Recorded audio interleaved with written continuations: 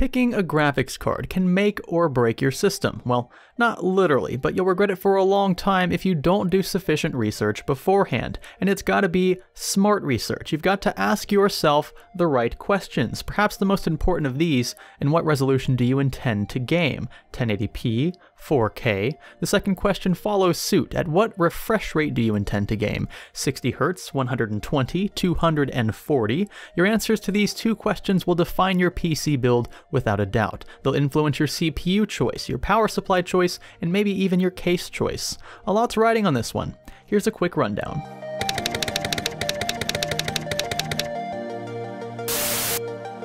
Picture the graphics card as the foundation on which all other computer components rely, and if you aren't interested in discrete graphics for gaming, then your CPU becomes this foundation. It's my personal belief that your entire budget should revolve around this graphics card choice, which, as we just discussed, is dependent on gaming resolution and refresh rate. I should also mention that these recommendations assume a minimal CPU bottleneck, 16GB of system RAM, which should remove any RAM bottleneck, and moderately demanding current gaming titles. So let's start with the lower end and work our way up. We've got a few contenders way down at the base of the spectrum, something like this NVIDIA G210 may seem appealing on paper thanks to its extremely low price, but you'd almost be better off sporting just a CPU in your PC and running off of integrated graphics. In some cases, you actually would be better off, no joke. Serious gamers, even in lower resolutions, should be prepared to spend anywhere from 50 to 100 US dollars at least. That's roughly RX 460 territory just on the upper edge, and the RX 460 is a much more powerful card than these two from Nvidia, mind you. We'd have to bump up to the GTX 1050 for a fair fight from the green team. So all of these GPUs fit into what I would call the 1080p 60 FPS category, as in don't expect to attain much higher than this without serious graphical compromises. Any resolution below this with modern games, and you should be okay 720p, you should be fine with any of these graphics cards, as long as you're willing to adjust a few in-game settings. The 1030 isn't an interesting price point, but if you ask me, pay a little extra for the RX 460 or the GTX 1050. Again, 1080p gaming here wouldn't push these cards above that, and pairing either of these with a 144Hz monitor, for example, wouldn't make much sense unless the game in question fares somewhere along the lines of CSGO. Our next category category is the 1080p 1440p category. The cards listed here are very fluid in that they can easily run a majority of games in 1080p and even light 1440p with adjusted settings, ergo dropping texture quality from very high to high, high to normal, you get the point. Included here are the RX 470 through the 580, R9 380, 390, and everything in between, along with the GTX 960, 1060, and 970. Remember that these aren't absolutes, there are certainly circumstances in which these general rules are a bit of a stretch, but for any beginner, this should give you a good idea of what to expect. I also have several links to benchmarks down below to back up these claims.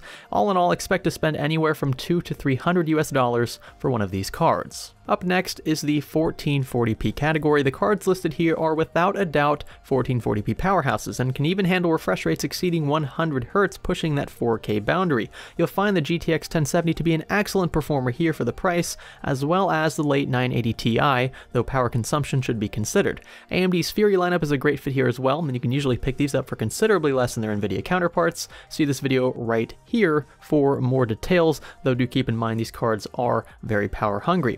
You could probably make the case for the GTX 1080 here as well, seeing as though the 1080 Ti has lowered prices a bit. The 1080 is a large leap above the 1070 from a performance perspective, but may prove to be a bit overkill for anyone locked at 60Hz below 4K. The last category then is the 4K category up to 120Hz. If you're gaming a resolution higher than this or with multiple monitors, you probably already know what you're doing and you're just watching this video for sick kicks, which is still cool. Packed into here are the priciest of the pricey graphics cards available, and even a few Crossfire SLI configurations for cards that won't perform up to spec by themselves. First and foremost, the prominent GTX 1080 Ti is an excellent 4K graphics card. Even intensive Witcher 3 is crushed by this NVIDIA powerhouse, and for around the same price as its 980 Ti counterpart this time two years ago. Technology has made leaps and bounds in just two years, it's incredible, and the prices haven't gone up accordingly. From AMD, it's difficult to recommend anything reasonably priced at this point since we're largely anticipating Vega, but we aren't certain of performance numbers. Some expect Vega won't touch the 1080 Ti, others wholeheartedly think that it will. But for now, as of May 2017, the best I can do for the red team is recommend a Crossfire configuration. Two Fury X's should do the trick, but at the expense of some serious power consumption. Two GTX 1080s would also work here as well as two GTX 1070s, though the latter would certainly struggle with anything above 60 FPS in the 4K resolution. So that's my breakdown in my experience when friends and family ask for gaming advice. I break it down like this. Identify your constants, your gaming resolution, and your gaming refresh rate, and then pick your graphics card from there. Everything else in your PC, if it is a gaming PC, should follow suit. If you like this video, be sure to give it a thumbs up, thumbs down for the opposite, click the subscribe button if you haven't already, and I will catch you in the next video. This is Science Studio. Thanks for learning with us.